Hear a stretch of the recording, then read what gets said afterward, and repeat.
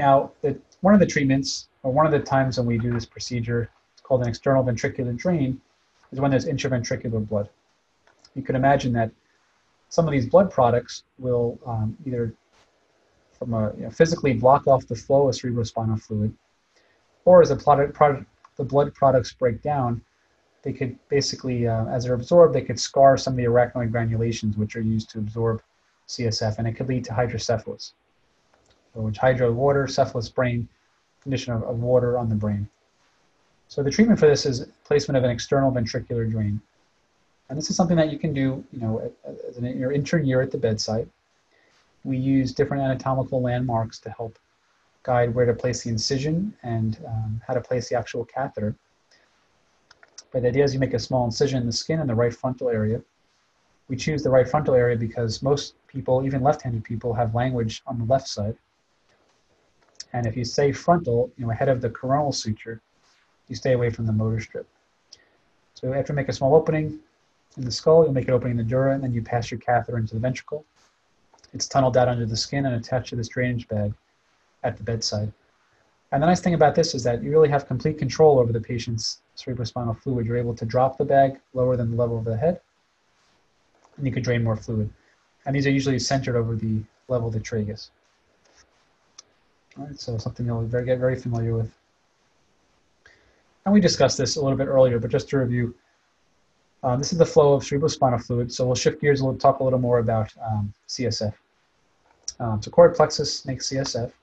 This is produced in the lateral ventricle, travels into the third ventricle by way of the foramen of Monro.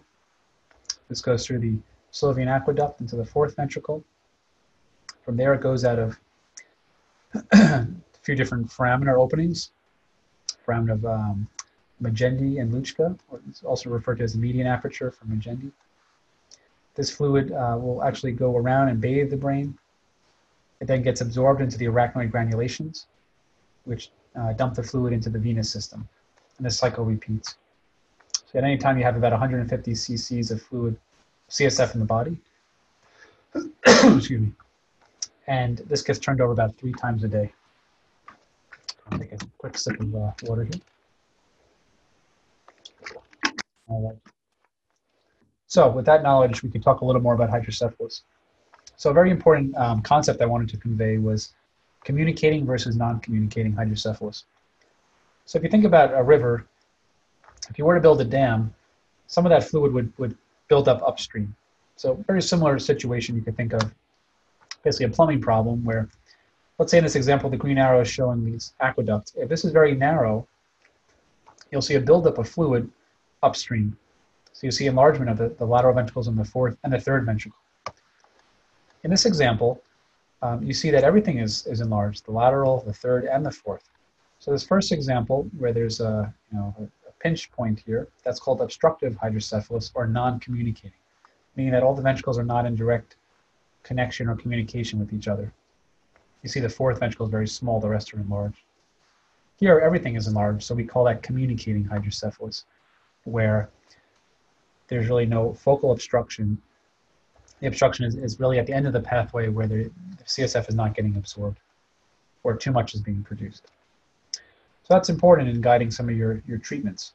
So for communicating hydrocephalus, um, basically uh, VP shunt or ventricular peritoneal shunt placement is, is indicated. This is kind of our gold standard.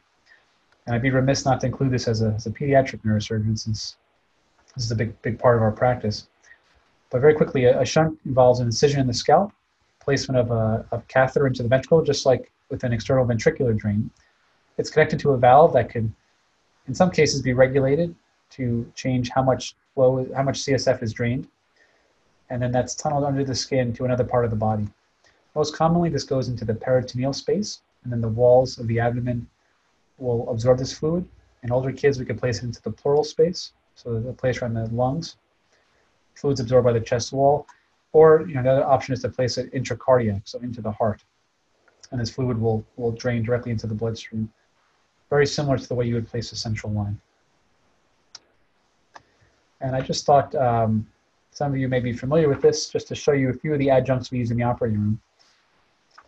This um, is an example of neuronavigation, where there's a fixed reference point on the patient and an electromagnet close by. Then basically take a pointer that's not shown here, but you trace the contours of the face.